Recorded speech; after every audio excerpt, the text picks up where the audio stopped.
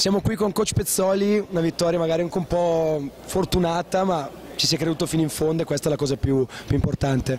Sì, effettivamente non è stata una gran bella partita, anzi direi che il punteggio lo dimostra, soprattutto quello dei tempi regolamentari, però quantomeno abbiamo avuto veramente voglia e non abbiamo mai mollato anche in un finale veramente difficile più la zona 3-2 degli ultimi minuti, più la, un po' la follia di Deligios, di Ubiali e degli esterni, cos'è stata eh, ciò che ha consentito alla squadra di, di rimontare e di andare poi a vincere questa partita? Eh, probabilmente con la zona negli ultimi minuti e mezzo abbiamo cambiato inerzia al loro attacco e questo ci ha permesso a loro probabilmente di, di, perdere un attimino il feeling con canestro, a noi di trovare un minimo di entusiasmo con due canestri fatti in contropiedi e poi quando l'aspetto emotivo prevale vince la, normalmente vince la squadra appunto più carica. Come con Asola un inizio praticamente disastroso per poi comunque dimostrare di, di avere la forza di rimontare anche se non si può ogni volta andare avanti a, a partire a handicap.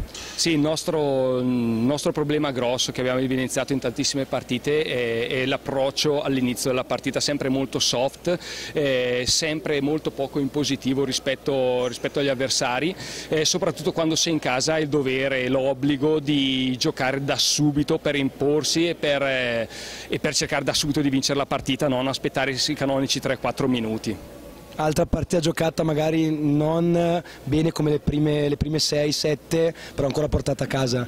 Va bene così per ora no? Eh, sì piuttosto che avere punteggi altissimi 80-90 e perderle preferiamo tenere i punteggi molto bassi addirittura sotto i 60 punti ma sicuramente avere così più chance di vittoria. Un plauso a Tontini che ha fatto quel canestro decisivo praticamente impossibile. Era forse il giocatore che mancava in quei momenti eh, con comunque la sua qualità qualità, i suoi tiri per magari vincere le partite o portarli supplementari? Ma da un tiratore come Tonto io mi aspetto sempre questo tipo di canestro, anche perché comunque tutto sommato è stato un tiro preso in equilibrio ed era il suo tiro sempre più importante andare a Bancole adesso e cercare di, di far bene anche lì per proseguire su questa, su questa strada anche se non sarà facile su un quel campo. Eh, sicuramente non sarà facile, però mh, questa vittoria io spero, penso che ci darà quell'entusiasmo per andare a Bancole e, e, e portare a casa la partita. Bene, grazie, ciao. Siamo qua con coach Riboldi, coach un'analisi su, su questa sfortunata partita per voi. Sì, sfortunata perché l'abbiamo persa sicuramente per eh, degli episodi finali di cui dobbiamo solo fare, solo fare mea culpa.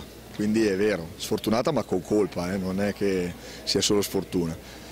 Deve servire da lezione perché sicuramente c'è stata molta poca lucidità, attenzione, complici tutti, io per primo, sulle ultime due azioni e non abbiamo avuto la, la, la perspicacia, l'attenzione, la, come dicevo prima, di, di di chiudere due situazioni che alla fine hanno portato gol a fare due bombe, due tirate a tre punti, a, mi pare fossero 50 secondi alla fine, insomma. sotto di 6 è due errori grossi. La zona vi stava facendo vincere, la zona alla fine di Gorle vi ha fatto perdere, mi sembra, si è giocata un po' su quello la partita, nei momenti finali.